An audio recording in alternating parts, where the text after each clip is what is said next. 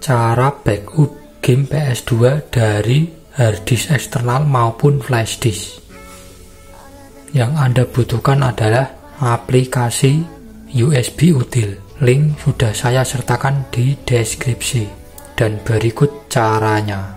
Pertama, colokan harddisk eksternal maupun flashdisk tempat penyimpanan game PS2 kalian.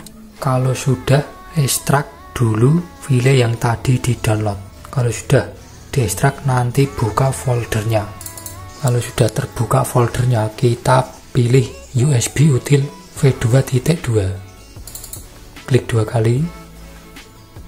Kalau ada informasi begini kita oke okay saja. Lalu di sini kita pilih menu file, kemudian open game list paling atas ini.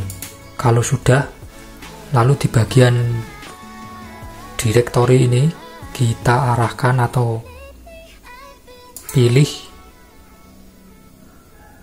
flash disk atau hard disk eternal yang kita colok. Kalau masih bingung, kita bisa lihat di sini di bagian kiri ini. Saya menggunakan flash disk. Ini letternya H, jadi di sini pilih H juga. Kalau sudah kita klik bagian ul.cvg kalau sudah kita lewat. Dan ini adalah daftar game yang ada di harddisk eksternal kalian.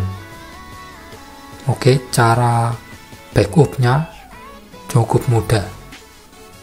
Pilih salah satu game atau kalian juga bisa pilih semua. Ini pilih semua juga bisa. Di sini saya akan sebagai contoh salah satu game biar cepat oke. Sebagai contoh saya akan memilih game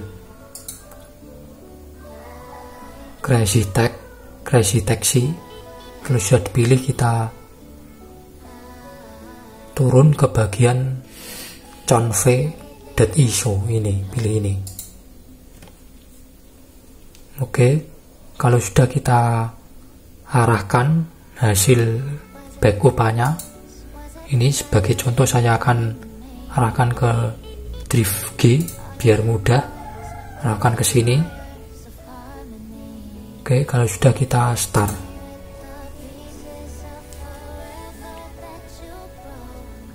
Tunggu sampai selesai